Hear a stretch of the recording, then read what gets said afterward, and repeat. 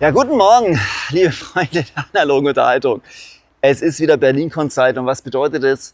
Große Laster mit viel Zeug. Wie ihr seht, waren wir schon fleißig. Wir waren nämlich schon in unserem Lager und ihr seht, es ist schon einigermaßen gut gefüllt. Ähm, wieder fleißige Helfer hier am Start, wie immer. Oh.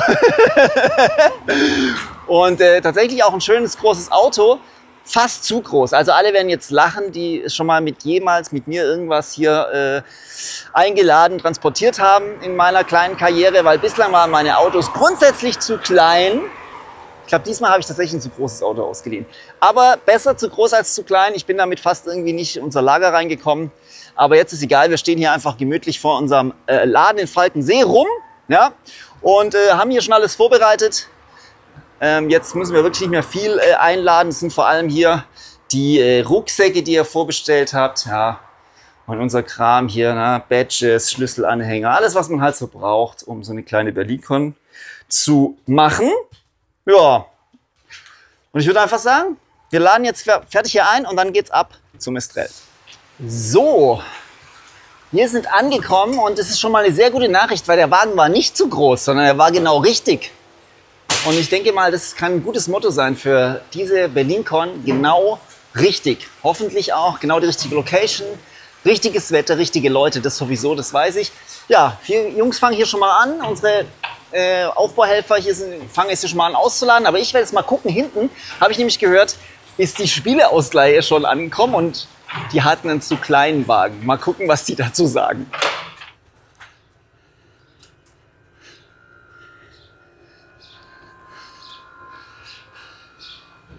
Ah, die Fleißigen. Ja? Na? Wie sieht's aus hier? Ja, Habt ihr etwa einen zu kleinen Wagen besorgt? Ja, siebeneinhalb oder. Könnt nachher mal gucken. Können, ich zeig den Jungs nachher mal, was, was, das ist ein Wagen, weißt du?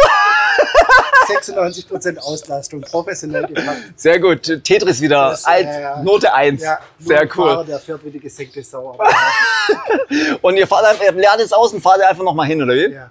Ja, alles klar. Ja, ist ja noch Zeit, oder? Ja. Alles gechillt. Hier, tiefenentspannt. Voll gut, voll gut. Wir gucken mal rein. ah, guck mal, hier auch diese tollen Wagen habt ihr euch auch schon besorgt. Perfekt. So, das ist natürlich jetzt der inoffizielle Wareneingang, den könnt ihr nachher nicht benutzen. Und hier geht es gleich weiter, direkt in zu der wunderschönen Spielehalle. Guck es dir an. Licht ist auch schon da? Nee, noch nicht komplett an. Noch nicht komplett an. Ist ja riesiger als in der Das ist, ja, die ist jetzt, die ist groß. Ah. Und so sieht unsere Spieleausleihe aus, wenn sie fertig ist. Nein. ja, ein, ein Spiel legen wir gleich schon mal rein für euch. Sehr gut, sehr gut. Äh, ich habe schon gesehen, euer, ich habe schon euren Kleinwagen gesehen. Ja. Ist leider heute Morgen wieder was schiefgelaufen beim Ausleihen. Eigentlich sollte es ein größerer mit Hub. Hub äh, Und den habt ihr nicht bekommen, oder wie? Nee, der hat einen äh, Defekt an den Bremsen. So, es war gar nicht eure Schuld. Ach Mensch. Nee, ja, wissen wir noch nicht. Also, selbst mit dem größeren wissen wir nicht. Äh, ja, ich habe mal einen großen bekommen. Hätte ja. oder nicht. Ja. ja. aber den gebe ich jetzt natürlich heute schon wieder ab. Aber ihr fahrt einfach halt nur nochmal, habe ich schon gehört. Ja, wir machen eine, wir drehen eine extra Berlin-Konvoi. Die erste schon mal. Das ist alles gut. Aber ich sehe hier, habt ihr schon einiges. Platz ist doch auch da. Alles wird gut, alles wird brillant. Und so sieht es dann aus, wenn man in die Richtung guckt und wenn die Halle noch leer ist. Bin echt gespannt, wie das aussieht, wenn es fertig ist. Das werden wir dann morgen da sehen. Das ist die Galerie. Da oben ist die Galerie. Da kann man auch spielen. Da auf dem Runden, ja, das Runde ist auch eine Galerie. Da ist dann Blood in the Clock Tower Runden tatsächlich. Das ist ziemlich cool. Kannst dann auch mal hochgehen. Ja, schon echt, echt nice. So, und ob es glaubt oder nicht, ich bin fertig. Guckt euch an hier ein riesengroßer leerer LKW, den muss ich nur noch abgeben. Bestes Helferteam mal wieder am Start hier, alles super schnell aufgebaut. Hier übrigens hinter mir seht ihr dieses Berliner Kindelzelt. Das werden morgen von euch auch einige ähm, noch ansteuern. Das ist nämlich die Flohmarktabgabestelle. Ja, hier ist sozusagen dann unser Parkplatz, da kommt ihr hin. Und hier bei dem Zelt äh, wird dann das Flohmarktteam sein, eure Sachen entgegennehmen und mit dem Lastenaufzug dann nach oben transportieren. Und da oben ist dann nämlich der Flohmarkt. Ähm, genau, Und äh, das ist aber auch alles schon am Start. Flohmarkt-Team ist auch auf dem Weg, habe ich gehört. Werden auch heute schon mal ein bisschen was aufbauen. Ja, hier stehe ich noch mal kurz an unserem Eingang, weil es ganz witzig hier guckt. Alex hat hier schon, kannst du von der Rückseite sehen, hier schon unsere Einlassbanner hier schön am Geländer fest äh, getackert, äh, wo dann drauf steht, was das Ticket kostet für alle ganz spät entschlossen und so weiter. Und ja, wenn ihr dann kommt am Freitag, geht's ja los. Dann werdet ihr hier rein äh, spazieren. Alle, die ne, einen Rollstuhl haben oder sowas, können dann hier die Rampe benutzen. Alle anderen werden dann hier in einer großen Schlange hier einmal rumgeführt und äh, dann hier zu unserem Kassenstand. Der steht jetzt hier noch nicht, aber den bauen wir dann morgen auf. Ähm, wenn ihr es noch nicht habt, kriegt ihr dann hier euer Badge oder Bändchen. Wobei es tatsächlich, wer heute schon anreist, kann sich auch die Badge im Hotel schon holen. Das ist ganz cool, das zeige ich euch nachher nochmal. Da haben wir jetzt schon die Station, weil manche Leute kommen ja jetzt schon an. Ähm, haben sich richtig viel Zeit genommen für die Veranstaltung, natürlich voll cool. Und ja, hier ist auch schon ruhig, aber schon viel Zeug. Unsere ganzen Sachen für die Kasse stehen hier schon. Hier links hinter mir seht ihr unseren BerlinCon Infostand. Oh, guck mal, den haben sie auch sogar schon schön hier so mit den Dingern hier beklebt. Da hinten seht ihr jede Menge Zeug. Äh, das müssen wir natürlich noch äh, auspacken und aufräumen. Das sind äh, vor allem eure Rucksäcke, die ihr teilweise ja vorbestellt habt. Noch ein bisschen Verkaufskram von mir, Pins. Und natürlich mein äh, Krempel könnt ihr hier auch wieder kaufen, wenn ihr möchtet. Fiese Freunde, Lewis und Clark, Tokenschalen und sowas wie immer. Hier, oh, guck mal hier, Alex war schon fleißig. Unsere Fotowand. Na, könnt ihr hier schön Erinnerungsfotos schießen, entweder am Anfang oder am Ende, wie ihr wollt. Wir sind jetzt hier im Hauptfoyer. Hinter mir sieht man auch schon Tische. Die Artist Alley wird hier sein. Ja, da werden die Illustratoren sein. Hier hinter mir der Snack, die Snackbar, auch geöffnet während der Game Night. Ja, wird wahrscheinlich auch sehr beliebt sein. Und dann gucken wir mal. Ich laufe mal kurz zur Spieleausleihe hier rein. Hier Convention Hall 1. Wer es immer noch nicht hat, BerlinCon App downloaden. Könnt ihr jetzt natürlich noch machen.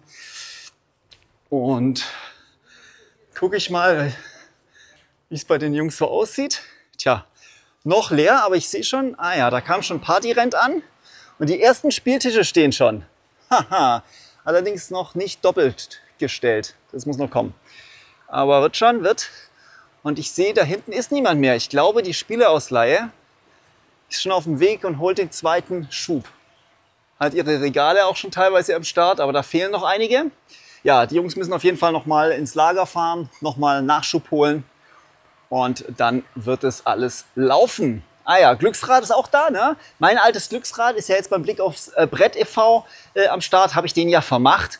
Und wer Bock auf Glücksrad hat, den Verein unterstützen will, gibt's wieder jede Menge coole Preise äh, abzustauben. Hier auch neben der Spieleausleihe in Halle 1. Ja, hier in Foyer 3 seht ihr da hinten auch schon, da ist äh, schon die, der erste Catering-Stand hier aufgebaut.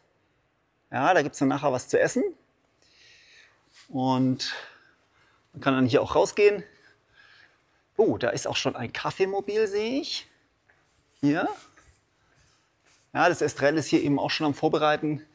Ähm, und da haben sie dann noch so eine Espresso-Station, ganz cool. Okay.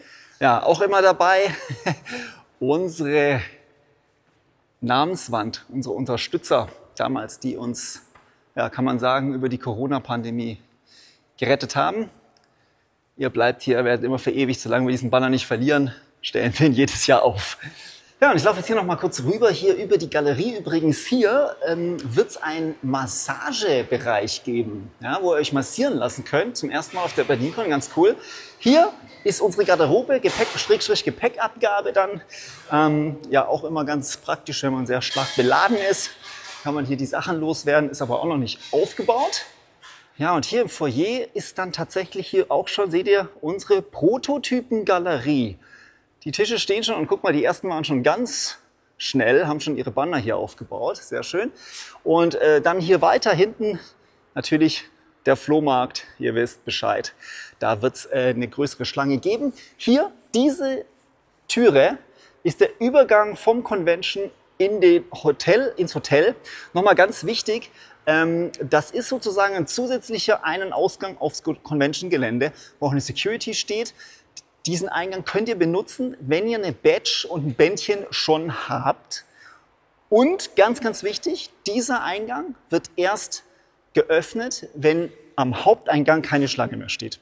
Das heißt, weil die Frage kam schon, kann ich irgendwie, wenn ich ein Badge habe, hier schneller zum Flohmarkt kommen oder irgendwie so. Das geht nicht, das wollen wir natürlich auch nicht, sondern wir wollen, dass sozusagen ein, ähm, der Hauptschlange morgens ist nur Haupteingang und erst wenn da sich die Schlange aufgelöst hat und wahrscheinlich sich hier aufgebaut hat, ähm, dann werden wir diesen Übergang öffnen, weil der ist quasi einfach nur für die Leute, die ein Hotelzimmer haben, dass sie dann während der Veranstaltung dann leichter keinen Umweg machen müssen, hier hin und her gehen können, nicht für den Einlass sozusagen morgens früh. Ja, und hier in der Lobby, voll mega, ist schon Team. Schaut's euch an. Badge-Ausgabe.